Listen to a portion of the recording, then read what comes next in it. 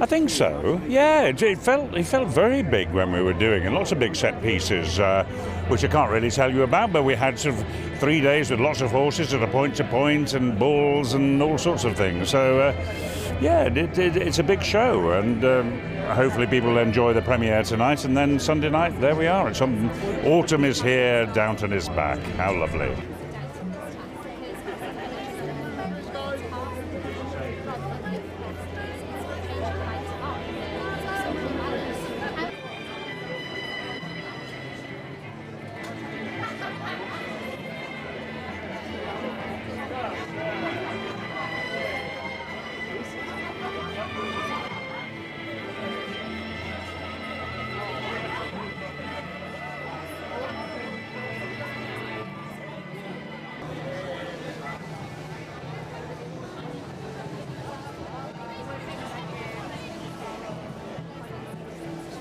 Your character this time round.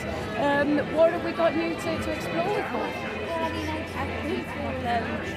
I mean, it's a tough year for. Don't think I'm giving anything away by saying that. Really, you know, she's been separated from her child, but the child is, is now living on the estate, so that's lovely. But it, it still brings its drama. So yeah.